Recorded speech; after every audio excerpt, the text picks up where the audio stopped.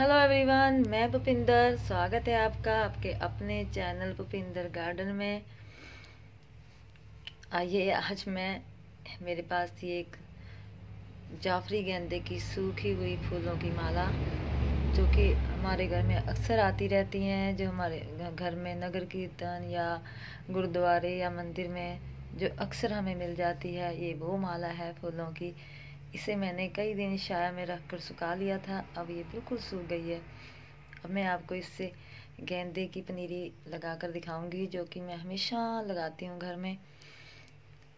ये देखिए, जैफरी गेंदा है, जो पूरी गर्मी हमें फूल देता है। ये मल्टी कलर के फूल है, सारे मल्टी कलर के फूल होने की वजह से ये हमें, कई कलर्स में हमें जो प्लांट है गेंदे के वह मिल जाएँगे। इसी तरह मैं अक्सर गेंदे की पनीरी लगा लेती हूँ। तो सोचा आज आप आपके साथ भी अपनी ये वीडियो शेयर करूँ। ये देखिए, इस तरह से आपको ये बीज जो है, गेंदे के तोड़कर इस तरह से निकाल लेने हैं। ये देखिए, जो ब्लैक सा होता है, ये ब्लैक सा भाग है, यही सीड्स है इसके।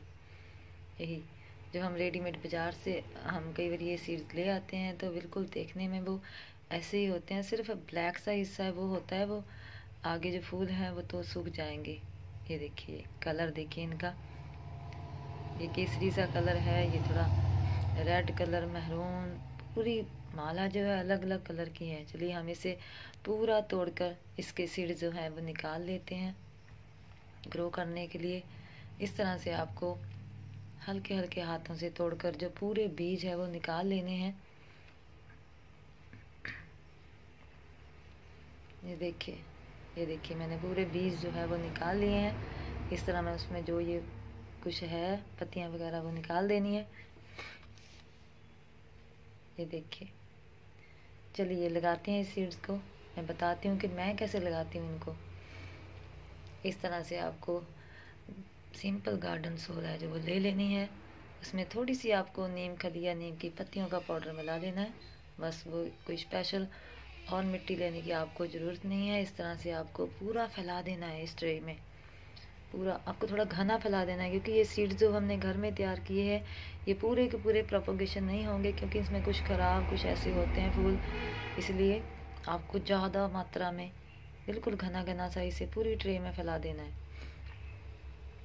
क्योंकि इस पर हमारा कोई खर्चा नहीं हुआ है जिसे हमें फ्री में, ये हमें उगानी है पनीरी। इसमें हमने कोई पैसे नहीं खर्चे हैं, इस तरह से आपको इस पर रेत जो है सिंपल रेत इस तरह से वो फैला देनी है। कि रेत फैलाने से जो है प्रोपोगेशन बहुत थोड़ी आसान हो जाती है। ये मैंने देखा है। कई बार मिट्टी में ही ऐसे बीज घुट कर ऐसे बीज फिर वो ग्रो नहीं हो पाते। इसलिए अगर आप रेत ऊपर ऐसे इस तरह से बिछा देंगे तो वो थोड़ी नमी भी रहेगी और जो सीड्स है, वो ग्रो होने में भी आसानी रहेगी।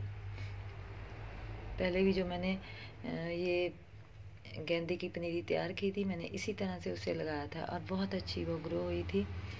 इसलिए आज लगाने वाली थी तो सोचा आपको ज़रूर बताऊँ। तो इस तरह से आपको इस पर पूरा, थोड़ा पहली बार जब आप इस पर पानी लगाए तो थोड़ा ज़्यादा मात्रा में आपको पानी लगाना है। पानी जो है, इसमें सूखना नहीं चाहिए, क्योंकि अगर पानी सूख गया तो थोड़ी सी जो इसकी ग्रो ग्रो है मतलब थोड़ा सा वो कम हो जाता है, इसलिए इसलिए आपको इसमें मॉइस्चर है जो, वो बनाए रखना है। और जो आप पहली बार पानी डालेंगे वो आपको ज़्यादा मात्रा में डाल देना है इस तरह से।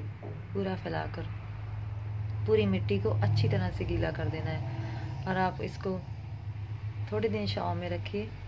जहाँ धूप थोड़ी शन कर आए, वहाँ रख सकते हैं। ऐसे कोई वो नहीं है। ये देखिए, इस तरह से आपको पूरा पानी देकर बस ऐसे छोड़ देना है। अब थोड़े बीज बच गए हैं। इस तरह से आपका अगर कोई प्लांट है, उसके नीचे ये जगह खाली है। ये देखिए, जैसे मेरे है इस प्लांट के नीचे। तो इस तरह से आपको इसकी मिट्टी को थोड़ा हल्का कर कर और इस तरह से इस सीड्स को यहाँ फैला देना है। वो जो पौधा है, इसमें जो प्लांट है, वो तो अच्छा ग्रो होता ही रहेगा। उसके साथ साथ आपको कुछ प्लांट जो है, गेंदे के मल्टी कलर के वो बहुत अच्छे मिल जाएँगे। ज़रूर आपको अगली वीडियो में बताऊँगी जब इन ये ग्रो हो जाएँगे। सो so फ्रेंड्स अपना बहुत सारा ध्यान रखिए। वीडियो को लाइक कीजिए। मिलते हैं अगली वीडियो में। Bye bye.